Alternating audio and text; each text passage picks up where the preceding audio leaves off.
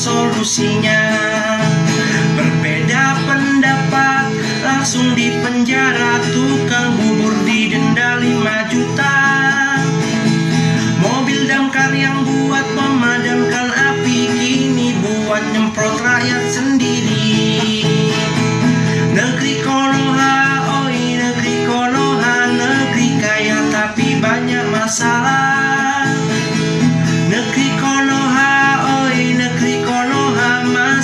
sa tiro